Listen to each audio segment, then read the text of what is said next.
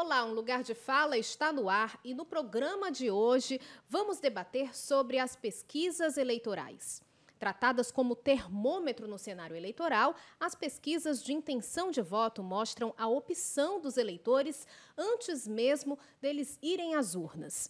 Na eleição de primeiro turno, os resultados das urnas apontaram discrepâncias entre o que diziam as pesquisas e o resultado da votação, como previsões de vitória em primeiro turno não confirmadas, inversão de posição entre candidatos e avanço não previsto de nomes na disputa por votos. Na disputa pela presidência da República, a maior disparidade foi a pesquisa do Instituto Brasmarket, que no dia 30 de setembro, às vésperas da eleição, apontou vantagem do candidato à reeleição Jair Bolsonaro do PL. Na pesquisa estimulada, quando os nomes são apresentados ao entrevistado, o levantamento mostrava o atual chefe do executivo com 45,4% das intenções de voto, enquanto Luiz Inácio Lula da Silva, do PT, aparecia com 30,9%, uma diferença de quase 13%. Já o Instituto IPEC chegou a apontar vitória de Lula no primeiro turno e o Datafolha também fez essa projeção. As pesquisas mostravam Simone Tebet, do MDB, atrás de Ciro Gomes, do PDT, mas as urnas a colocaram em terceira posição. Nos cenários estaduais, os resultados das urnas também mostraram, em várias situações, realidades bem diferentes do que as previstas pelos institutos de pesquisa.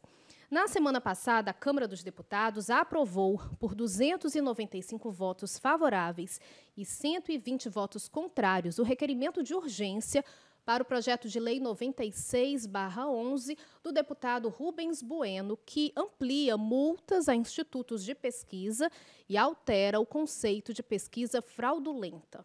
A urgência permite que a proposta seja incluída na ordem do dia do plenário, mas o presidente da Câmara, Arthur Lira, adiantou que será votada uma outra proposta sobre regulamentação das pesquisas eleitorais e que esse novo texto será alvo de uma ampla rodada de negociações com todos, com os líderes de todos os partidos. Lira avisou que vai negociar o texto do projeto com o Senado. Foi anexada ao projeto uma outra proposta, o PL 2567 de 2022, de autoria do deputado Ricardo Barros, que pune os responsáveis por pesquisa eleitoral com números divergentes, acima da margem de erro dos resultados oficiais das eleições. O parlamentar argumenta que a pesquisa interfere na escolha do eleitor e, por isso, o tema precisa ser regulamentado. Vamos conferir a matéria da TV Senado. Às vésperas do segundo turno, mais uma vez, as pesquisas de opinião ocupam o centro das atenções. Os serviços prestados pelas empresas do setor são contratados por emissoras, bancos, partidos e demais interessados. Enquanto reforçam a qualidade das diferentes metodologias empregadas para antecipar a intenção dos eleitores, os institutos de pesquisa negam a intenção de influenciar a escolha deste ou daquele candidato. Os críticos, porém, argumentam em contrário e colocam em xeque as notórias diferenças entre as previsões e os resultados reais no primeiro turno das eleições majoritárias para governadores e presidente da República. Nós vivemos no Brasil um festival de resultados que não combinam ou que não batem com aquilo que é pesquisado. No meu estado, isso é uma, uma prática comum quando o Instituto de Pesquisa é comprado não é, e para ajudar alguém. Tem sido tragédias atrás de tragédias de muito tempo para cá, não é de hoje isso. As pesquisas despertam reações distintas, mas já bastante conhecidas. Números favoráveis são rapidamente divulgados no horário eleitoral e, é claro, na internet. Quem se sente prejudicado tende a desacreditar os resultados e os institutos. Mas será possível negar a influência sobre os eleitores? Fim do primeiro turno, o Ministério da Justiça e o CAD, Conselho Administrativo de Defesa Econômica, acionaram a Polícia Federal para que investigasse os institutos de pesquisa de opinião. Mas a iniciativa foi barrada pelo ministro Alexandre de Moraes, que alegou a ausência de justa causa. No Senado, um requerimento para uma CPI conseguiu as assinaturas necessárias para a instalação. Como o senhor avalia a questão da instalação dessa CPI das pesquisas eleitorais? Bom, está provado que foram criados instituto por encomenda. Né? Isso virou um, um absurdo e isso é, tira qualquer credibilidade. Isso também, claro, que ele acaba influenciando. Então, eu não sei se o caminho necessariamente é a CPI, mas que tem que ter uma investigação, tem que fazê-lo. No caso das pesquisas, o que é que se há de fazer? O trabalho que o legislativo faz. Compilar os projetos que a casa já tem em curso sobre isso, que estão sendo discutidos, parlamentares da Câmara e do Senado, fazer eventualmente é, é, ampliar o debate ou focar o debate mais com uma sessão de debates, com audiências públicas nas comissões respectivas a esse assunto e tentar amalgamar todas essas opiniões e fazer uma proposta unificada, um projeto de lei talvez maior, mais denso, sobre pesquisas e sobre institutos de pesquisa. CPI das pesquisas eleitorais ela pode ser importante. Agora, dar resultado efetivo que a sociedade quer, não vai acontecer nada. Infelizmente, mais uma CPI da pizza. Para mim, deveria haver um projeto de lei que eu apresentei em 2019, onde proíbo a divulgação de pesquisas eleitorais 45 dias antes da eleição. Na Câmara dos Deputados, foi aprovado nesta segunda-feira o regime de urgência para um projeto do líder do governo que visa criminalizar os institutos de pesquisa quando os resultados dos levantamentos não forem similares aos das urnas. Mas a tramitação da proposta, assim como a abertura da CPI e das investigações sobre o tema, dependem de entendimento entre os presidentes das duas casas legislativas. É preciso ter muita cautela também, muita prudência se busca coibir erros de pesquisa, é preciso fazer de forma inteligente e razoável. Não se pode punir é, institutos de pesquisa e os seus responsáveis simplesmente por uma aferição inexata, até porque erros podem acontecer e pode haver sim uma diferenciação de uma pesquisa correta numa quinta-feira com um resultado diferente no domingo da eleição. Então vamos ter essa cautela, vamos fazer uma discussão muito mais ampla, é, sem a pressa de se fazer antes do segundo turno, é algo que pode ser uma amadurecido no Congresso Nacional e se ter a melhor solução para algo que é de interesse público, não há dúvida, mas que, repito, é preciso ter responsabilidade legislativa. Para discutir o assunto, um lugar de fala recebe Lídia Freitas, cientista e consultora política. Lídia é mestre em ciência política, especialista em marketing político, estratégia eleitoral e comunicação. É fundadora e diretora da Política das Coisas, empresa de consultoria estratégica e informação política para mulheres. Conosco também Carla Michele Quaresma, cientista política, mestre em sociologia e especialista em marketing. Carla Michele é pesquisadora de partidos políticos, marketing político e eleitoral e financiamento de campanhas eleitorais. Aqui no estúdio recebemos Pedro Barbosa, formado em Ciência Política pela Universidade de Brasília, mestrando em Ciência Política pela Universidade de Lisboa e diretor técnico do Instituto Opinus de Pesquisa. Na condução do debate aqui comigo, Luciana de Andrade. Um lugar de fala é transmitido pela Rádio FM Assembleia 96,7 e também pelo YouTube TV Assembleia Ceará. Proibir é a solução. É, eu nem consigo imaginar um cenário sem pesquisas. Elas são importantes. Eu, como eleitora, assim, eu, eu gosto de ver a pesquisa, de saber como está o cenário. Mas, assim, por que tantas. É, por que, que acontecem essas divergências? Posso começar? Pode. É uma satisfação, mais uma vez, participar, principalmente desse momento que nós estamos vivendo, né, de reta final de uma campanha tão importante para o país, e para falar de um assunto que ganhou protagonismo nos processos eleitorais. Realmente acho difícil que hoje qualquer pessoa entre no processo eleitoral, seja um candidato, seja um eleitor, sem essa informação fornecida pelas pesquisas de intenção de voto. Talvez o, o debate deva ser se os meios de comunicação precisam pautar cotidianamente é, esse assunto, garantindo um protagonismo que, na realidade, deveria ser dado às candidaturas, aos programas, aos projetos. Né? Eu acho que a forma como os veículos de comunicação utilizam esse material proveniente das pesquisas de intenção de voto é que pode ser questionado. Mas as pesquisas são importantes para que os candidatos, por exemplo, tentem aferir aí o ânimo do eleitor, compreendam quais são as principais necessidades, os principais desejos, apresentem propostas, projetos que sejam mais adequados, alinhados com esses interesses. Então, é claro que nós precisamos garantir que haja uma, uma fiscalização em relação à atividade exercida, não só pelos institutos de pesquisa, mas pelos diversos profissionais que atuam também nas campanhas eleitorais. É claro que existe um poder de influência, porque nós somos seres eminentemente sociais, então sofremos influência de colegas de trabalho, sofre, sofremos influência de familiares, sofremos influências múltiplas, e as pesquisas acabam sendo também um importante instrumento para muitas pessoas, inclusive no Brasil, que ficam até a reta final do processo eleitoral procrastinando, né? Há um adiamento aí dessa decisão e muitos eleitores acabam optando ali na reta final da campanha por aqueles candidatos que estão numa posição mais favorável, porque para muitos é, acordar domingo, principalmente no estado como o estado do Ceará, pegar uma fila enorme, enfrentar um sol desgraçado e votar em quem vai perder é um, é um prejuízo muito grande. Então, muitas pessoas fazem esse cálculo, e é um cálculo. Né? Nós temos que considerar aí que o eleitor ele tem diferentes estratégias para definir as suas candidaturas. Mas proibir ou, ou criminalizar institutos de pesquisa não é esse o caminho, até porque nós não teríamos como, por exemplo, definir qual o nível de volatilidade, no caso do eleitorado brasileiro, um percentual muito baixo de eleitores que começam a campanha eleitoral definindo o candidato e mantêm essa definição até o último instante, até o momento da votação. Então, no Brasil, o voto é muito flutuante, os eleitores mudam de opinião a sabor dos acontecimentos. Em 2018, por exemplo, eleitores que diziam que iam votar no Boulos no, no, no primeiro turno da campanha acabaram votando no Bolsonaro. Acho que queriam um candidato que começasse com a letra B. E aí, obviamente, que se a pesquisa foi feita com esse indivíduo no início da campanha, ele disse que ia votar em bolos. No final, ele acabou votando em Bolsonaro. Portanto, há um movimento muito grande. Nós percebemos isso na eleição de 2022, no primeiro turno, esse movimento dos eleitores na reta final.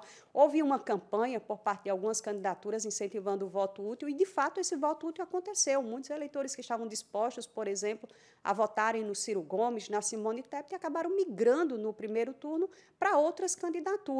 Mas se nós observarmos esse movimento apresentado pelas próprias pesquisas de intenção de voto, né, e aí precisamos analisar, obviamente, as pesquisas dentro de um quadro mais complexo. Muitas vezes as informações que nós recebemos através dos meios de comunicação não nos permite ter essa visão mais aprofundada, mais sistematizada dos dados que essas pesquisas informam. Mas, enfim, Sou contra essa criminalização dos institutos ou de profissionais que atuam nesse segmento. Pedro, são diversas metodologias, os institutos utilizam formas diferentes de fazer a pesquisa? Há, há sim algumas diferenças entre uns e outros, mas todos eles obedecem uma série de parâmetros que são básicos para todas as pesquisas. Um deles e o principal deles, que é a, a, a amostragem estatística, né? ou seja, é o método pelo qual o Instituto define quem será entrevistado numa pesquisa. Uhum. Esse método, mais ou menos, é o mesmo para todas as pesquisas, ou seja, a gente pega uma parcela da população que seja representativa daquele todo e essas pessoas serão entrevistadas. O que muda bastante entre um instituto e outro, aí nós vamos ter, por exemplo, a forma de coleta dessas informações. Alguns vão coletar essa informação de forma presencial, outros vão coletar de forma telefônica, Alguns usam telefone com entrevistadores humanos realizando perguntas, outros já são por gravações telefônicas e a, o entrevistado responde por meio de teclagem. Ah, se você votaria no fulano, tecle 1, se votaria no ciclano, tecle 2. E outros já estão fazendo também pesquisa de forma online. Né? Então, essas diferenças na forma de coleta podem sim trazer diferenças no resultado final. Mas nós observamos que para essa eleição, essas mudanças na forma de coleta não responderam por uma diferença muito grande entre os, os institutos de pesquisa.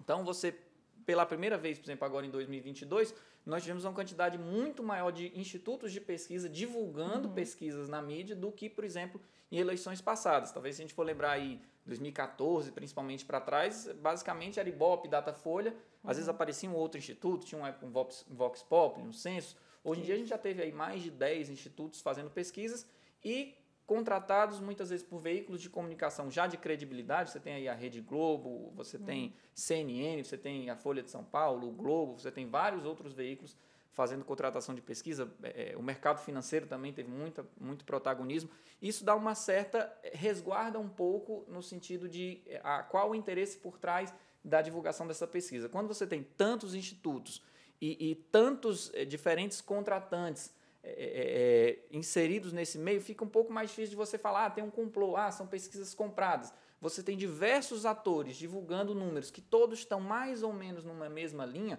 É muito difícil imaginar que houve um complô de todo mundo ali combinando para dar um resultado específico para beneficiar X ou Y.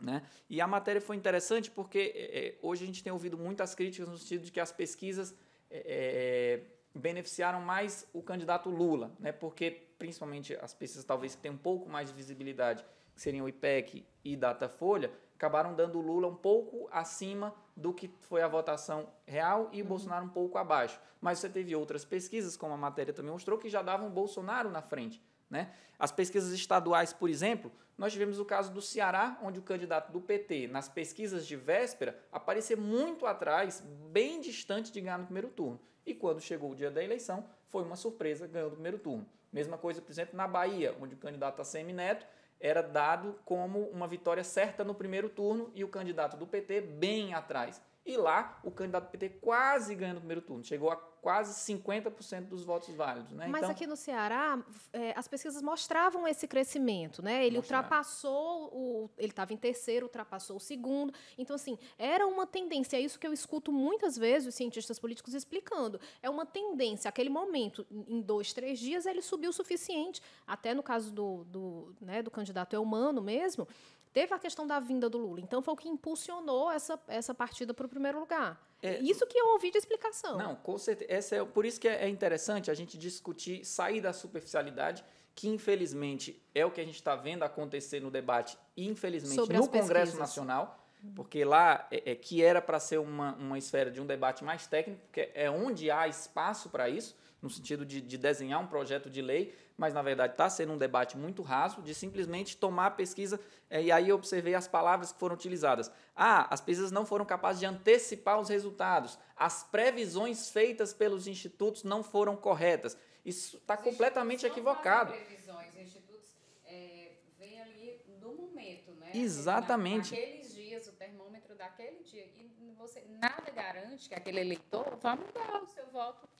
no dia da eleição, na hora de votar. E a gente tem casos de pessoas que né, dormiram em segundo lugar e, e, ganharam, né? Acho que a Maria Luísa, não foi aqui em Fortaleza, tem olha, alguns olha casos. Olha que interessante. A gente, se a gente for observar os dados das pesquisas estaduais, porque, é claro, o, o, o cenário nacional chama mais atenção. Mas as pesquisas estaduais, se a gente fosse simplesmente tomar esse conceito, ah, a pesquisa que é divulgada na véspera tem que antecipar o resultado da eleição. Os resultados foram desastrosos se nós pensássemos que esse é o papel da pesquisa, prever. Mas se a gente for olhar realmente os, os números, e aí a, a professora Michelle falou um ponto muito interessante, né, que às vezes simplesmente o que é divulgado na mídia não nos permite ver os dados completos. As pesquisas elas vão muito é além. um recorte. Exatamente. Um recorte, da, digamos ali, o que, o que cada veículo acha principal, primordial divulgar. Então, e também os candidatos pegam aquele trecho que favorece e divulgam. Então, para a população o sentimento é que há uma discrepância. E, e não é, é só um recorte que foi exposto, a, divulgado. A, a, manchete vem lá. Pesquisa tal, segundo pesquisa tal, fulano vai ganhar no primeiro turno. Pronto, a manchete só diz isso. Né? Mas se a gente for olhar as pesquisas, é, existem duas formas da gente mensurar a intenção de voto numa pesquisa, é, é numa pesquisa de opinião pública. A, é, a, forma estimulada, que é quando eu apresento ao eleitor os nomes dos candidatos, e existe o que nós chamamos de a pergunta espontânea, que é o quê? Eu simplesmente pergunto, se a eleição fosse hoje, quem você votaria para governador ou para presidente? E não dou os nomes dos candidatos. Observando essa pergunta espontânea para governador, na véspera da eleição, ou seja, as pesquisas divulgadas sábado, um dia antes da eleição, em São Paulo, 40% dos eleitores ainda não sabiam em quem iriam votar para governador. No sábado. No Ceará, eram 25% dos eleitores que ainda não sabiam em quem ia votar para governador. No Piauí, um terço. Em Pernambuco, um terço. Em Minas Gerais, 25%. No Rio de Janeiro, um terço. Ou seja, esses eleitores, eles no dia da eleição vão tomar uma posição. Então, não é nem assim, ah, vinha numa tendência. É de um dia para o outro. Uhum. Nós, nós já fizemos algumas pesquisas de é, é, chamada pesquisa de boca de urna, que é, ou seja, aquela pesquisa com o eleitor que já votou no dia uhum. da eleição. Por exemplo, nessa, nessa última eleição, nós tivemos cerca de um terço dos eleitores aqui no Ceará dizendo que decidiram seu voto para governador no dia da eleição. Né? E aí nós vimos principalmente o que acontecendo no dia da eleição candidatos que estavam ou do lado do Bolsonaro ou do lado do PT tendo um crescimento muito forte na sua votação e candidatos, principalmente os, os, os de terceiro lugar, de terceira via, tendo a sua votação enxugada, que é aquele chamado realmente voto útil, voto estratégico. Então, muito provavelmente o quê? Essa polarização que vem se falando muito, ela meio que sequestrou a atenção do eleitor para as outras eleições, por exemplo, para a eleição para governador, para a eleição para senador. E a atenção de todo mundo estava meio que concentrada na eleição para presidente. Só que essa polarização entrou com tudo na eleição para governador. E, por exemplo, no Ceará, que nós vimos o Lula com uma votação muito forte, esse eleitor já estava mais decidido a votar no Lula, mas para governador ele não tinha dado ainda muita atenção. No dia da eleição ele foi lá, seguiu no 13 para presidente, no 13 para governador. Já São Paulo, por exemplo, você tinha um Bolsonaro com muita força. Quando chegou na reta final, a gente viu o quê? A candidatura do atual governador ressecando e a candidatura do Tarcísio ganhando muita força no dia da eleição. Você tinha 40% de indecisos na pergunta espontânea no sábado. Esse pessoal tomou decisão, foi em cima da hora. Então, ou seja, tem muitas nuances que a gente precisa observar e aí fica estranho de falar em erro, acertou, previu, não previu, antecipou ou não. Né? Então, é algo mais profundo, né? Lídia, e as pesquisas são importantes também para as campanhas, não é? para os candidatos? Principalmente, né? a principal função da pesquisa é estratégica. Né? Nós, nós, profissionais de consultoria política, estrategistas, a gente não trabalha sem informação. E nós, uh, tanto que a gente vê a pesquisa de uma ponta a outra, a gente tem que analisar até se essa forma é, como ela foi realizada realmente tem credibilidade, para a gente ter essa informação correta. É, e, mas o que, que acontece? Acontece que na nossa cultura política, as pesquisas começaram a ir muito para o cenário público, para as pessoas, e gerando essa cultura, como você acabou de dizer. Eu não sei é, participar de uma campanha Eu sem não imagino não uma imagino. campanha sem a pesquisa. Por quê? Porque ficou aquela, aquela ideia de torcida. Né? Então, quem está na frente, quem não está na frente. E nas pesquisas, a função delas, de fato, não é essa. A função delas é informação e modulação, é para a gente ver termômetro, é para a gente ver. Eu, eu, sempre explico como se fosse o céu, né? A nuvem está de um lado, está no outro, dissipou. Está andando para que lado? Né? É, para a gente saber se pega o guarda-chuva, se vai com que roupa. Uhum. Então, é para a gente analisar, principalmente comportamento eleitoral. Se as pessoas estão recebendo bem as ideias do candidato, se as pessoas estão querendo outra coisa diferente, se aquela fala, aquele programa eleitoral está surtindo aquele efeito, se não está. Né? Mas quando vai para o público, vai muito recortado, principalmente porque tem três elementos principais, né? Em quem você vota, em quem você não vota de jeito nenhum, que é a rejeição, que é super que importante. Que é muito importante, né? Muito importante, que contrabalanceia tudo. E uhum. em quem você poderia votar, que entra esse potencial aí que pode chegar até o último dia no que a gente chama de voto de confissão, que é só o eleitor e a urna, né? Ele diz uhum. que vai o voto votar envergonhado, num, vota no outro, ou então decide mesmo só ele e a urna uhum. naquele momento. Então, é, esses três elementos são os que vão. E às vezes eles vão, às vezes não, às vezes é só quem está na frente. E não existe isso de estar na frente na corrida eleitoral, porque tudo muda o tempo inteiro. É muito dinâmico. Muito dinâmico. E isso induz ao erro, sim. É tanto que eu, apesar de ter isso como instrumento de estratégia de comunicação, eu não concordo, por exemplo, com divulgação de pesquisas 48 horas antes da eleição. Eu acho isso muito complicado, muito difícil, é, acirra muito esse sentimento é, de já tá, ganhou. De já ganhou e, que, e também está levando a uma questão, como a gente está vendo, principalmente nessa eleição, de violência mesmo, de intimidação das pessoas. Então, isso está, é, é, ao invés de proporcionar Quem entra no desespero, né? E aí... E isso, ao invés de fomentar informação para as pessoas, está tendo o efeito contrário. E a gente está vendo isso nessa questão da criminalização, concordo com a professora. Não é, a pesquisa não tem, tem nada a ver com isso. Ah, criminalizar os institutos de pesquisa. Olha, a legislação eleitoral já tem ferramentas para ver se é ou não correto. Porque quando você vai divulgar uma pesquisa, é necessário que você registre aquela pesquisa. Você tem que apresentar todas as certidões, né? O, o Pedro me corrija se eu estiver errado, mas você tem que apresentar toda a metodologia, todo o seu relatório, tudo, para que aquela pesquisa seja publicada.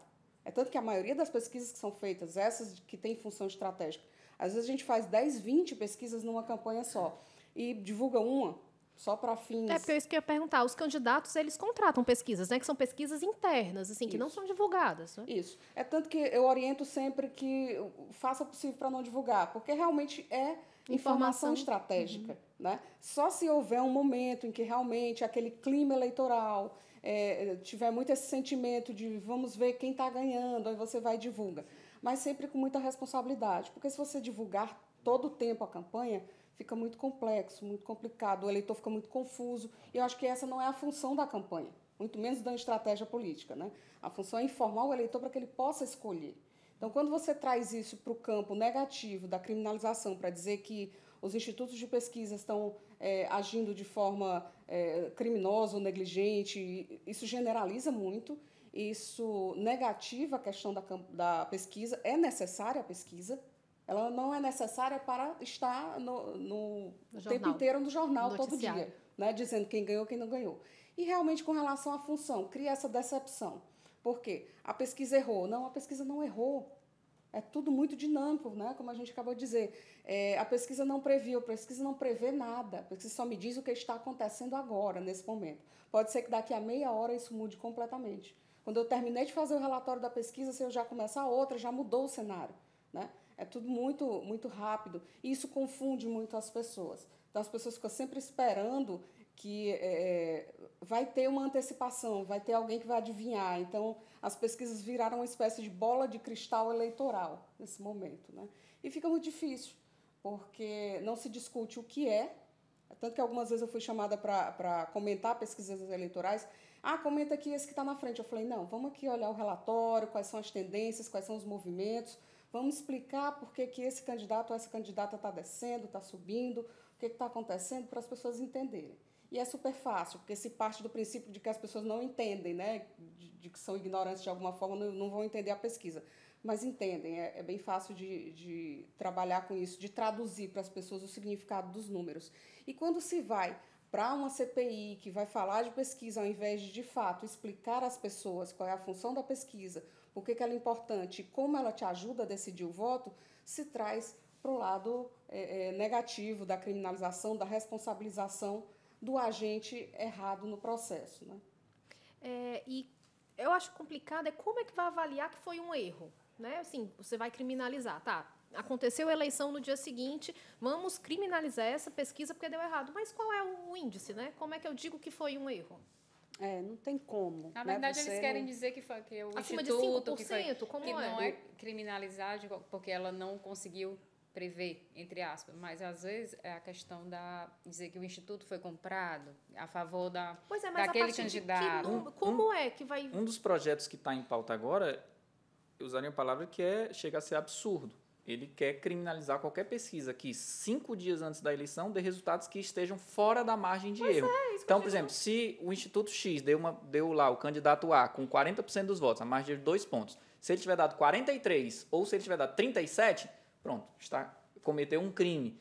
Cinco dias antes da eleição. Será que não acontece dias. nada? Na do véspera sábado é perigoso. pro, no domingo já há mudança. Com cinco dias, então, é, às vezes até, a gente até brinca falando assim, não, se a pesquisa tem esse poder todo, não precisa mais de eleição. A gente faz uma pesquisa lá na segunda-feira e o resultado que der a gente considera como o oficial para definir quem vai ser eleito. Porque se, a pessoa, se ninguém muda de opinião, para que, que a gente tem debate? Para que, que a gente tem programa eleitoral? Para que, que tem campanha? Para que, que a gente faz plano de governo, apresenta as propostas? Se ninguém muda de opinião. Porque cinco dias antes você tem debates, na reta final da campanha você tem debates, né? os principais costumam ser ali até a sexta-feira. No sábado você ainda tem campanha e no domingo você tem as pessoas efetivamente tomando sua decisão. Né? Então, realmente, como você vai dizer que é um erro? Até porque as próprias pesquisas elas já nunca se colocam como imunes ao erro, né? Na verdade, aí sim é um debate muito mais profundo, que, por exemplo, quando já entra na parte científica, na parte da metodologia da pesquisa, é, o, o, erro mais comum que a gente ouve falar sempre no jornal aparece é a margem de erro, né? Ou seja, a pesquisa deu aquele resultado, a margem de erro de dois pontos, para mais ou para menos. Mas essa margem de erro amostral não é de forma nenhuma a única fonte possível de erro de uma pesquisa. Tem vários outros é, vários outros fatores que podem causar um erro. E aí, quando a pessoa chama de erro, não é nem porque a pesquisa foi mal feita.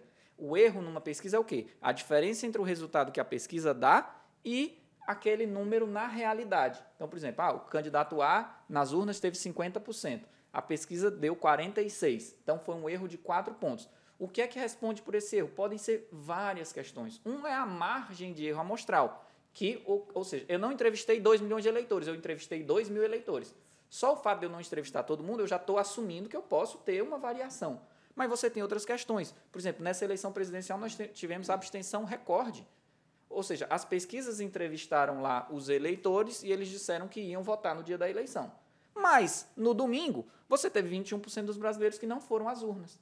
Será que esses 21% se distribuíram igualmente dos é. que foram votar? Com certeza não. Certamente o perfil de abstenção vai favorecer um pouco mais algum candidato e prejudicar mais o outro. Você tem as mudanças de última hora, você tem diversos Pode fatores que influenciam. algum episódio marcante Sim, nesse, assim, nesse primeiro turno ficou muito evidente, porque o nível de abstenção no Brasil historicamente é alto, né? E aí a abstenção é muito difícil de você explicar. É mais fácil explicar, por exemplo, votos brancos e nulos, porque a pessoa já está lá. Decidida. Então aí há uma insatisfação clara, mas o o, a, a, abstenção é muito difícil, porque às vezes as pessoas se Muitas mudam, não transferem o domicílio eleitoral, né? tem um problema no dia, tem a questão do transporte. Então, às vezes, não é a insatisfação com o, o, sistema, com as candidaturas.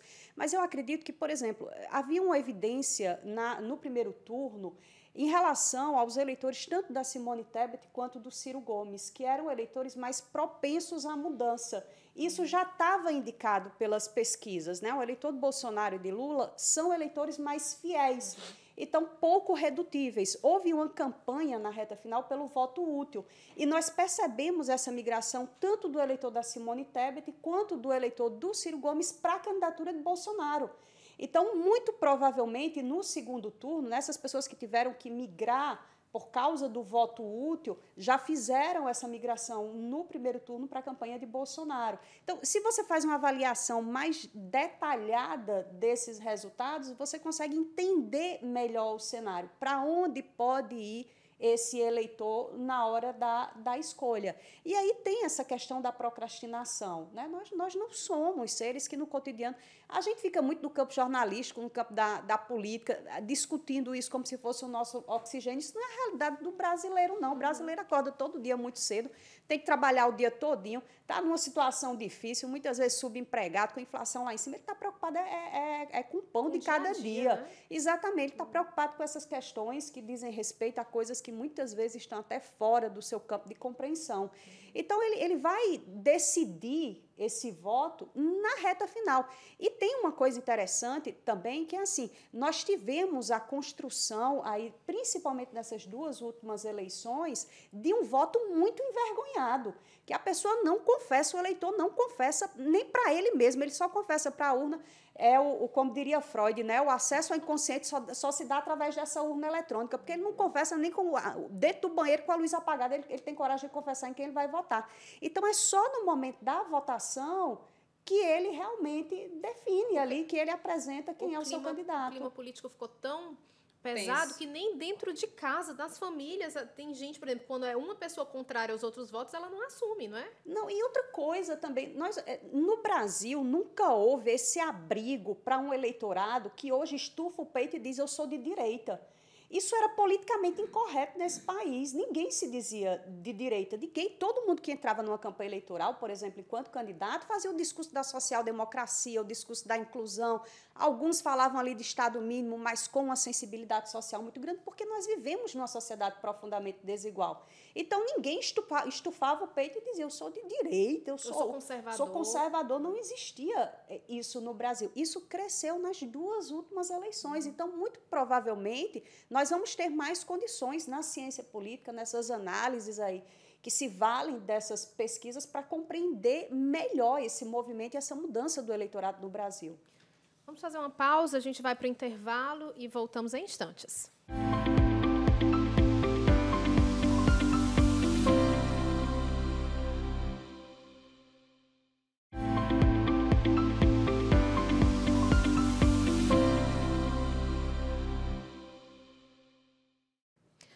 Lugar de fala está de volta e continuamos aqui a discutir a eficácia e a importância das pesquisas eleitorais.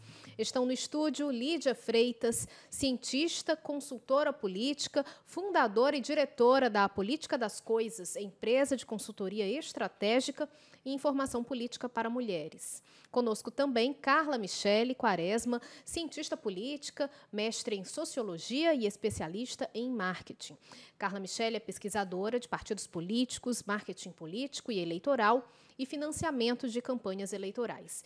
E ainda Pedro Barbosa, cientista político e diretor técnico do Instituto Opnos de Pesquisa. Luciana de Andrade, na condução do debate aqui comigo. O lugar de fala está sendo transmitido pela Rádio FM Assembleia 96,7 e pelo YouTube TV Assembleia Ceará. É, Pedro, a, um cientista político me disse uma vez que também a questão das pesquisas, que poderia ser também a questão do censo está muito defasado, porque leva em consideração os números de 2010 para fazer essas. É, na verdade, não. Não tem mais nem, não tem nenhum instituto que utiliza o censo como base para é, é, é, definição das suas amostras, justamente por isso, porque o censo está tá extremamente defasado. defasado. Então, é, mas o censo, sem dúvida, seria a base de dados mais confiável que nós teríamos, porque justamente o censo não é uma pesquisa amostral, é uma pesquisa com todas as pessoas. Né? Então, utilizam-se bases mais recentes, como, por exemplo, os dados do Tribunal Superior Eleitoral, os dados relativos ao eleitorado, você usa as pesquisas a, a, do próprio IBGE, a PENAD, que é a Pesquisa Nacional por Amostragem de Domicílios, que já tem também dados mais recentes, né? mas mesmo assim, essas pesquisas são por amostragem. Então, você vê aí pequenas nuances entre as amostras dos diferentes institutos. E aí, um, uma chamada variável que deu muito o que falar, inclusive, nessa eleição foi a questão da renda. Porque você teve alguns institutos, por exemplo, como o Datafolha e o IPEC, antigo IBOP, que quando a gente olhar o perfil de renda da população brasileira, você via que nesses institutos a população de renda mais baixa tinha um peso um pouco maior. Ou seja, você acabava entrevistando um mais, número maior né? de pessoas de renda mais baixa. Você ia para outros institutos, como por exemplo a Quest, onde você via é, eleitores de renda mais baixa com um percentual um pouco abaixo, porque usavam bases de dados diferentes. Qual está certo, qual está errado? Não dá para saber por quê, porque nós não temos uma base uhum. certa e exata que vai me dizer, olha, X% da população brasileira ganha até dois salários mínimos. Ou seja, se a, ou seja, se a gente tivesse um censo hoje atualizado, talvez as pesquisas seriam mais parecidas. Nesse quesito, né? sim. Apesar de que eu, eu, eu, alguns procuram, ah, mas a pesquisa errou por causa disso. Não, não foi só por causa disso. Isso pode explicar uma pequena fatores. parte. Não, eu nem falo do erro para a urna, isso. mas assim, entre os institutos, isso, porque às vezes tem institutos, Com né? certeza né? isso poderia facilitar um pouquinho. Já foram feitos alguns exercícios, por exemplo, é, pegou-se os resultados do IPEC e mudou a configuração de renda. Qual efeito isso teria no resultado? E, por exemplo, em um determinado mês ficou igual ao resultado da Quest ou seja, explicou-se que aquela diferença entre o instituto foi por causa da renda. Né? Uhum. Mas esse não é o único ponto. Você tem outras variáveis que, por exemplo, para essa eleição são fundamentais e nós não temos, por exemplo, dados exatos. Por exemplo, a população evangélica no Brasil representa quantos por cento da população? Se os evangélicos representarem 25% da população, nós teríamos um resultado na eleição. Se eles representassem 30%, seria outro. 35% seria outro. Por quê? Porque é um segmento do eleitorado que hoje está politicamente muito definido. E esse dado a gente né? não tem. Não temos com exatidão. Todos os dados são de pesquisas realizadas. As uhum. pesquisas têm dado os evangélicos ali em torno de, não sei, acho que 30%, se não me engano, da população. Mas pode ser que seja um pouco mais, pode ser que seja um pouco menos. Provavelmente agora com o resultado do censo 2022, uhum. a gente vai ter um retrato mais claro, porque é, historicamente a forma como as pesquisas são feitas, elas consideram que a população forma a opinião, e principalmente a opinião política, baseado em algumas características. As principais é a questão geográfica, ou seja, onde ela mora. Se ela mora no, no, no, Nordeste, no Sul, no Sudeste, numa capital, no interior, na zona rural, na zona urbana. Cidade de grande porte, médio porte, pequeno porte. Então, isso as pesquisas levam em conta. Segundo ponto, se é um homem ou mulher. Terceiro, faixa etária, né? os mais uhum. jovens, os adultos, os idosos. Escolaridade, renda. Mas você tem uma formação cada vez mais complexa de opinião das pessoas e outras variáveis que não só essas demográficas, econômicas, que estão influenciando na forma como a pessoa constrói, é, é, é, como que ela consome informação. É pela televisão, é pelo rádio, é pela, pela rede internet. social. Se é pela rede social, é pelo WhatsApp, é pelo Facebook, Facebook é pelo, pelo Instagram, é pelo TikTok, é na igreja. Onde é que se constrói a formação? Onde é que se dá a socialização dessa pessoa? Né? Então, variáveis cada vez mais complexas estão é é, é, é, interferindo na nossa formação de opinião. E as pesquisas estão buscando é, se aprimorar nesse sentido. Isso é interessante, porque assim, às vezes quando a gente fala, ah, a pesquisa não errou e tudo, parece que é um instituto de pesquisa querendo se defender para não para a bola não cair para o lado dele. Mas, na verdade, os institutos a gente tem visto que estão muito empenhados em observar, poxa, o que é que a gente pode aprimorar? Um dos pontos é a questão da abstenção que, por exemplo, em países onde o voto não é obrigatório, os institutos de pesquisa já vêm aprimorando a forma de captar o comparecimento eleitoral há muito mais tempo. Nos Estados Unidos é obrigatório, qualquer instituto que queira minimamente chegar próximo do resultado, ele tem que conseguir captar com alguma precisão quem vai votar e quem não vai. Que ainda é mais complicado, né? Muito mais, Nem muito obrigado. mais. Aqui a gente ainda é é mais tranquilo fazer pesquisa, você parte do pressuposto que todo mundo vai Tem que votar. ir, né? né? Então, assim, mais essa questão, que é o chamado modelo do eleitor provável, onde você insere no questionário algumas perguntas a mais para você tentar estimar uma probabilidade daquela pessoa ir votar ou não, para que você possa traçar. Olha, entrevistamos aqui duas mil pessoas, deu fulano com 50% e o outro com 40%. Mas vamos aqui imaginar que dessas pessoas, 10% não vão votar. A gente tira aqui os 10% que provavelmente não vão votar. Ó, esse, esse cara aqui não costuma votar, não votou na eleição passada. Nessa agora ele diz que não está muito interessado na eleição. Rapaz, ele tem uma probabilidade grande dele não ir votar. Vou tirar ele daqui. Mudou o resultado? Se mudar o resultado, quer dizer o quê? Que a abstenção está favorecendo alguém e prejudicando alguém. Por quê? Porque, porque os eleitores daquele candidato estão mais prováveis de não irem votar. Então, inclusive, até para as campanhas é algo fundamental delas conseguirem motivar, engajar os eleitores para no domingo realmente irem votar. Isso é algo fundamental. A gente olha muito para a eleição, por exemplo, para presidente, para governadores executivos, mas, por exemplo, os cargos é, é, de legislativos, de deputados, vereadores, que cada voto conta, isso é fundamental. Se você está lá contando com os votos e ali 10 eleitores não foram votar, 15 já pode ser a diferença entre você ser eleito e não. Né? Porque são muitos candidatos brigando por poucas vagas. Então, são questões que são interessantes. E o debate raso, e hoje que está tendo no Congresso, é um debate, infelizmente, puramente político. Né? Você, é, na própria matéria também colocou, né? Quando a pesquisa traz um número que é favorável ao, meu, favorável ao meu candidato, a gente vê, eu jogo lá no meu programa eleitoral, eu jogo nas minhas redes sociais, e quando o meu candidato parece prejudicado, eu vou lá e descredibilizo, diz que a pesquisa é comprada, que não dá para confiar, aquele veículo, eu- isso e tem aquilo. muita gente que fala, nunca fui entrevistado na pesquisa. não, não sei como é que funciona, a gente só ouve falar, não conhece mais gente. São 150, mais de 150 milhões de pessoas aptas a votarem no Brasil. Se você for fazer matematicamente, porque o Instituto pega em média duas mil pessoas, pouco 3 mais. mil, é alguns. Então, assim, né, não dá para pegar todo mundo. Uma vez eu fui fazer uma matéria com o Instituto de Pesquisa. E perguntei isso, né? Ah, mas todo mundo diz, e eu também, eu nunca fui entrevistado. Eu Como é que pode? uma vez. Eu já perguntei isso. Não, aí ele disse assim, e nunca vai. Aí eu fico assim, porque você é jornalista, então eles, quando perguntaram sua profissão, eles vão lhe excluir da É, pesquisa. na época eu ainda não era. Não, pois é, me disseram isso, que, que eu não participaria por isso. Eles excluem quando sabe. Aí depois de um tempo eu fui pesquisada mesmo e, e me telefonaram e me tiraram mesmo da pesquisa. Por quê? Assim, porque conta a opinião. A profissão. Há algumas pesquisas que fazem esses recortes, outras Eu não, não. porque eu sou jornalista, eu não sou eleitora. Não é? Meu Vou votar voto também. não vale. Isso ocorre principalmente, na verdade, com pesquisas de mercado. Né? Por exemplo, uma pesquisa mercadológica vai perguntar se você trabalha em- com publicidade, com agência de propaganda, com jornalismo, ou, na, por exemplo, se é uma pesquisa do setor automobilístico, você trabalha numa concessionária, no setor automobilístico, alguma coisa relacionada àquela área que faça o quê? Você tem muito mais informação do que as pessoas em geral. E eu estou estudando um público geral. Eu não quero uma pessoa que saiba muita coisa daquele mercado. Mas, em geral, na pesquisa eleitoral, não costuma ter esse recorte. Né?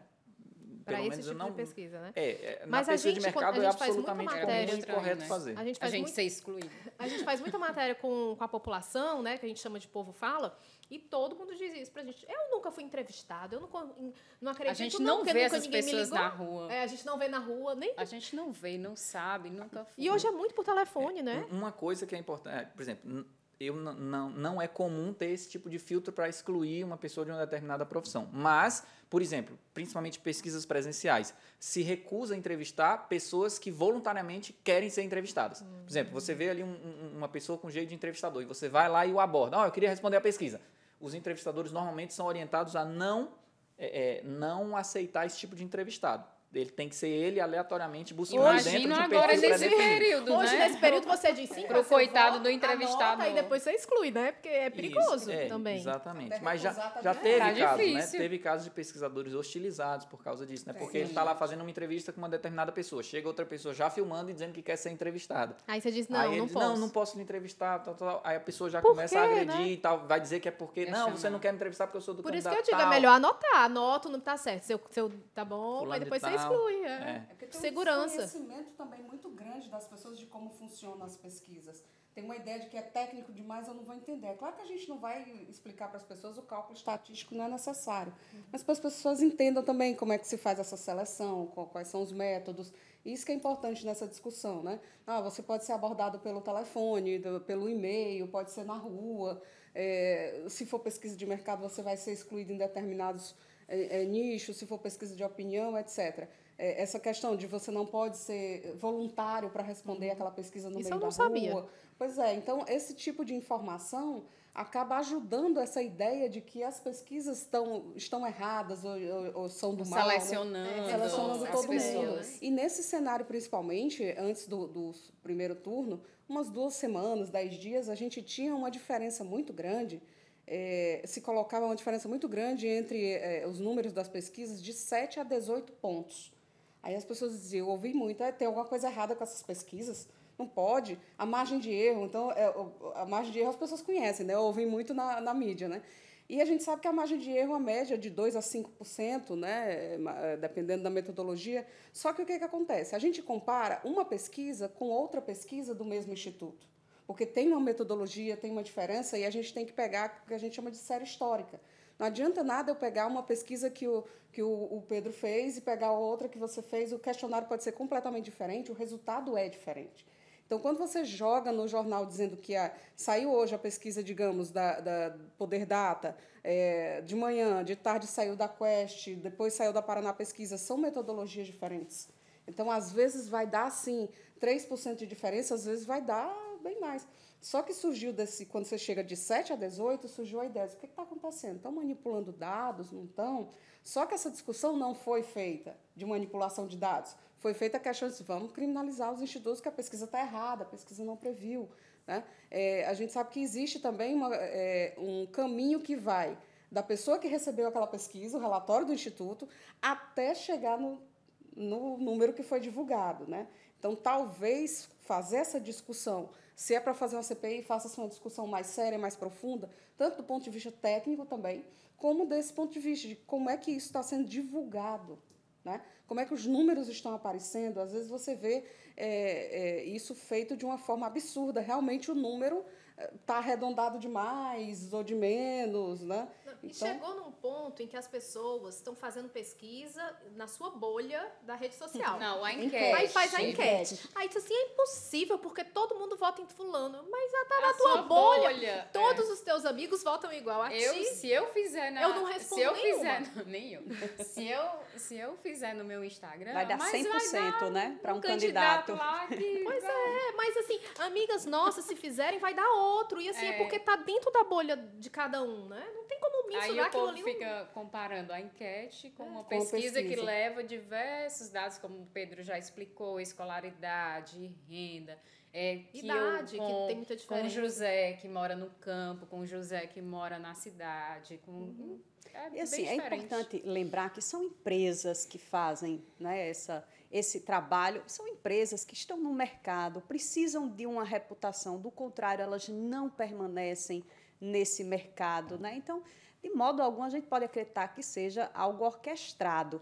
Mas é fato, isso desde a época do, dos coronéis aqui no, no Ceará, quando o Tasso Gereissati lançou a sua candidatura para governo do Estado, ele, inclusive, chegou a fazer muita charge sobre isso, né? porque havia um ataque muito grande dos coronéis em relação às pesquisas, que apontavam ali tendências, e era uma novidade naquele momento, nos anos 80, né? Você citou o caso da Maria Luísa, que nem estava no pódio, né? Segundo uhum. As pesquisas da reta final, né? Nem apresentavam a Maria Luísa no pódio, a Maria Luísa acabou consagrando-se vitoriosa naquela campanha.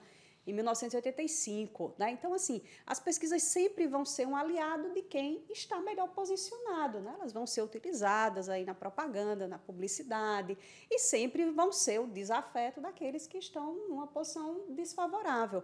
Embora isso sempre ocorra é, eleição após eleição, nunca houve essa discussão, como hoje nós estamos vendo, acerca da perseguição né, de pessoas que estão ali exercendo uma atividade durante um, um, um, período eleitoral, que precisam prestar contas com o mercado. É com os institutos, com a própria é, urna Primeiro era a urna eletrônica, é, é, é ou, ou, é o TSE, ou é a urna eletrônica, ou é a pesquisa. É, a história é sempre na busca de um inimigo. Vamos encontrar quem é o inimigo da nação, quem é. Então, acho que isso faz, é muito mais parte de um contexto eleitoral do que qualquer outra coisa.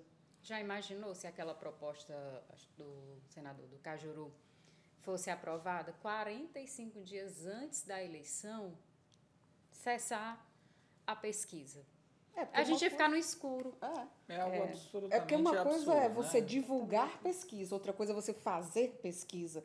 Como eu disse, a gente tem em, campanhas, às vezes tem pesquisa semanal, às vezes tem duas na semana, depende de qual é o, o, o porte da campanha. É, divulgar é outra coisa, mas realmente 45 dias já faz parte da nossa cultura política, esperar Durante a campanha números. toda, né? Durante a campanha toda, 45 é um, dias é um cerceamento, né? É um cerceamento ao direito do eleitor de se informar. Sim, isso. Né? Porque ah, não é, por exemplo, nós aqui no Ceará, nas últimas eleições, nós tivemos vários candidatos que começaram lá atrás na pesquisa. Né? Se você for remontar aqui para eleições de Fortaleza, por exemplo, é, na sucessão da Luiziane, que era o Elmano contra o Roberto Cláudio. Ambos eram absolutamente desconhecidos. Começaram as pesquisas lá atrás e no final foram os candidatos é, mais votados e o, o, Roberto Cláudio efetivamente sendo eleito. Você começou essa o próprio ex-governador Camilo Santana no seu primeiro mandato começou a campanha absolutamente zerado nas pesquisas. E aí entra a né? questão da rejeição, né? Assim, eu já ouvi de estrategistas políticos dizerem isso. É ótimo começar lá embaixo, porque quem, quem é desconhecido, porque não tem rejeição, então você é pode subir. Porque o Eumano, por exemplo, né? o Eumano entra, foi o último candidato a ser apresentado uhum. na, na convenção partidária. É, portanto, em tese, né, o começa candidato atrás, né? começa atrás e, claro, estava né, na terceira posição mas era o candidato que apresentava maior índice de rejeição. Então, é, nem sempre nós temos esse cálculo tão preciso, porque alguns componentes foram incorporados na campanha, como a aprovação a, a, ao governo do ex-presidente é, Lula, a aprovação, do Lula. A aprovação Camilo, ao governo do, do, do ex-governador Camilo Santana. E tudo isso, quando utilizado na campanha, foi desfazendo a rejeição ao Elmano de Freitas. Então, eh, não é matemática, né? Política não é isso. E se fosse, seria terrível, né? não teria graça alguma. Nós não nos entusiasmaríamos tanto com, é. com as campanhas eleitorais. Né? Então, é, nem sempre essa, essa apresentação de resultados no início de uma campanha coincide com aquilo que vai ser o desenrolar da campanha, que vai mudando o ânimo das pessoas, dos eleitores, gerando outros fatos. Mas essa que é a lógica, né? A pesquisa é matemática, mas a, a política não é. Então, acontecem as mudanças, os eventos, os debates, véspera de eleição, e por isso e mudam é, a, a todos os fatos novos, né? Os fatos Exatamente. novos que vão acontecendo. Às vezes uma declaração que dá num podcast. Pronto. Aqui no Ceará teve candidato que praticamente perdeu a campanha, perdeu a eleição, na verdade, na véspera, no sábado. Ah, tem bastante. Teve assim que houve um, houve um episódio e é. Os indecisos que foram para outro candidato elegeram assim. É. Inclusive, a, a, pesquisa mais importante é a antes da eleição, que é a pesquisa que você apresenta para o partido, né, em que você vai medir essas questões né, de que é conhecido, não é conhecido, qual é a rejeição, qual não é, qual é a razão da rejeição, que é, o, que é importante também, que aí a gente usa também as qualitativas. É, dentro daquele jogo é, é de composição partidárias, qual é, quais são as melhores composições de partido, se aquele vai ou não vai. E, por fim, também tem a negociação política. Só que a negociação política, é geralmente, nisso, do né? ponto de vista estratégico, nós, como estrategistas, orientamos. Está aqui, ó, você tem esses dados, esses números, vocês vão sentar em cima deles e conversar a partir daí, para ver se você é a melhor candidata, ou o melhor candidato, ou o, o seu opositor. E essa questão também, né, de, de não existe. Nessa primeira, a gente vê se o motivo daquela rejeição, por exemplo, é algo que não pode ser modificado. Porque às vezes tem questões gravíssimas que realmente não valem a pena você colocar aquela pessoa para a candidatura. Né? Então, a primeira pesquisa que, que eu digo assim, a pesquisa marco zero e mais importante de todas é essa, que dá essa decisão. Depois disso, todas as outras são luz no caminho, para você saber como é que você faz a campanha, como é que está o movimento do, dos eleitores, até chegar nessa reta final em que ela é, é, acaba sendo apropriada pelos eleitores. Na que campanha, é com essa função de, de, de torcida, digamos assim. Na né? campanha dá até para avaliar, tipo assim, tem mais votos é, em cidade tal, em cidade tal, e, e, e direcionar para uma região, né? Por bairros, tem, né? Por bairros, tem. numa cidade, quando é prefeitura, a por exemplo. faz né? todo esse mapa, uh, mapa do voto, né? Uhum. Esse, esse mapa do voto geográfico também, né? para a gente ponto, poder decidir. Um ponto que é bacana de entender, e aí quem já viveu o bastidor de campanha sabe, é que realmente o, o, o, debate de criminalização das pesquisas é, acima de tudo, interesse político. Por quê? Os candidatos, todos eles trabalham com pesquisa. Todos, todos. absolutamente. Não tem nenhuma campanha profissional que trabalha sem pesquisa. E eles têm os números. E o candidato, ele não quer um instituto que minta para ele. Ele quer que dê a realidade. Se eu estou pior, eu quero que você me diga que eu estou pior para eu poder trabalhar e tentar recuperar. Mas, mesmo eu tendo aqueles dados, se publicamente esse dado for divulgado por alguém, eu vou, eu vou descredibilizar, porque ele não me interessa. Não me interessa que as pessoas saibam agora como é que eu estou. Deixa eu crescer. Marca uma pesquisa aí para daqui a duas semanas, porque aí eu já vou estar melhor e a gente divulga. Então, é assim que funciona. Então, é tudo bem que isso é do jogo político. Mas, é, é, por exemplo, as pessoas pensam, ah, mas eu nunca fui entrevistado, eu não sei como é que funciona. É natural que as pessoas pensem assim. Uma coisa são as pessoas pensarem isso. Outra coisa é o Congresso Nacional começar a trabalhar em base de senso comum, em base de puramente Sabendo interesse político. Sabendo como é que acontecem Sabendo as pesquisas. exatamente como é que funciona. Eles sabem exatamente, todos eles ali já são treinados né, eh, dentro da política, dentro de campanha, sabem muito bem como é que funciona. Sabem muito bem e perfeitamente que esses números que estão dando diferença entre o que a pesquisa divulgou numa véspera de eleição, seja num sábado, e lembrando, as pesquisas são divulgadas no sábado, algumas vezes entrevistaram pessoas na quinta, na sexta, no sábado, às vezes uhum. na sexta e no sábado, né? então não é só pessoas entrevistadas ali de noite, no sábado, no outro dia ele acorda e vota. Né? Então, eles sabem, né? mas o interesse político ali vale é mais. Né? Às vezes, mesmo que no final não dê nada, ele garantiu aquele espaço de discurso que atende a um eleitor que está mais inflamado. Né? Você ainda estamos num momento de campanha, segundo tudo, não acabou Era a campanha. Isso justamente ou seja, falar. ainda Será tem que a importância. Que vem, depois da eleição, que passa a eleição, a Carla Michele, a Lídia podem falar também. É, e vocês, será que eles vão continuar Nesse com esse tema, projeto? Essa... Será que? Porque eu acho que forma é muito momentâneo. Não, agora a, a, a necessidade de, de manter essa retórica, né? Uhum. É, e, e olhem que esse discurso parte de um determinado grupo político. Então, é essa tentativa né, de encontrar o inimigo, de reforçar a base eleitoral, né, de que nós precisamos de pessoas que que nos defendam porque nós estamos sendo perseguidos. Então, isso tem a ver com a resposta ao contexto eleitoral. E nós estamos vivenciando essa realidade desde 2018, né? Porque, como eu falei anteriormente, essas pesquisas começaram a ser divulgadas no Brasil na década de 80 e sempre houve essa discussão, né? A pesquisa sempre foi apresentada como um aliado por quem está na frente e sempre foi o desafeto de quem está atrás mas nunca houve um debate como nós estamos vendo hoje. Unir então, é mais um recurso utilizado para fins eleitorais. É porque nós estamos numa espécie de comportamento de multidão, né? Então, psicologicamente falando, a multidão tem a função de destruir. Então, é, vem se colocando esse discurso ao longo do tempo para tentar ver o que, o que, que isso aqui está certo, está errado. O vilão da, antes era a urna, agora o vilão são os institutos de pesquisa. Então, vamos aqui falar onde é que estão os pontos, onde vamos corroer a uhum. confiança da pessoa nas instituições A urna foi feita políticas. a auditoria, pediram para fazer a auditoria, mas ficou em sigilo. Por que será Exatamente. que ficou em sigilo, né? Então, a gente tem é, é, esses mecanismos que, que são suporte do nosso sistema representativo que estão sendo questionados sem, é, é, de fato, a discussão correta, né, os fundamentos, os argumentos. Se você for prestar atenção, você tem uma série é, é, de mecanismos de checagem dentro da justiça eleitoral, tanto para a urna eletrônica como para as pesquisas eleitorais.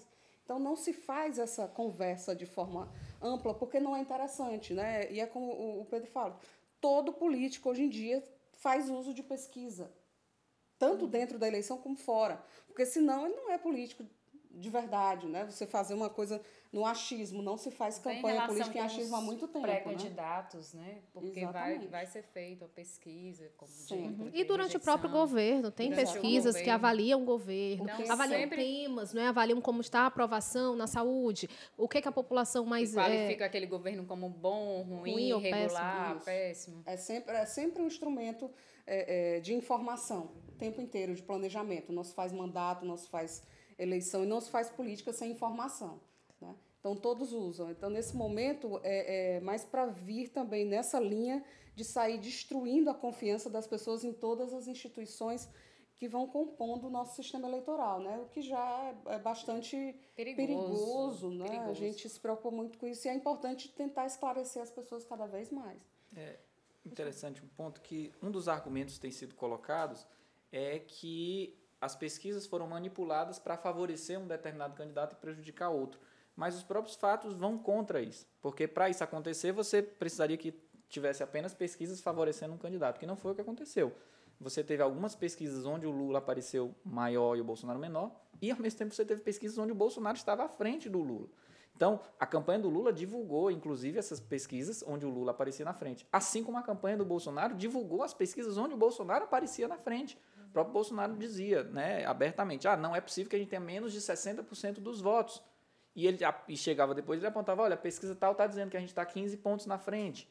Então, houve isso. Se a gente for olhar estados, houve estados onde as pesquisas de véspera deram candidatos do Bolsonaro com votações menores do que eles realmente tiveram, e tiveram pesquisas que apontaram candidatos do PT com votações menores do que eles tiveram.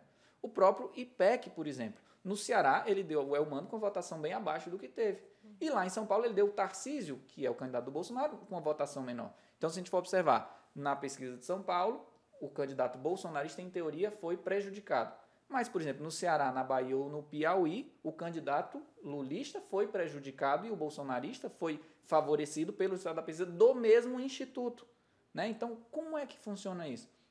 Não, aqui a gente vai botar para disfarçar. Então, ou seja, é um argumento assim, muito difícil de você aceitar que todo mundo, dezenas de institutos de pesquisa, dezenas de instituições da mídia, do setor financeiro e outros atores envolvidos na contratação e na execução das pesquisas de opinião pública estão todos num complô para prejudicar uma única pessoa. Né? Então, realmente é algo que os fatos não estão não estão batendo aí com o que uhum. se está colocando. E no domingo de eleição, a gente à noite já vai estar falando de outras pesquisas, outras divergências. Eu gostaria de agradecer a todos vocês que participaram, que debateram aqui com a gente. O lugar de fala fica por aqui, mas você pode acompanhar esse e outros conteúdos pelo YouTube TV Assembleia Ceará. Agradecemos aos nossos convidados pela participação e a você que nos acompanhou nessa edição. Obrigada, Lu, também. Até o nosso próximo encontro.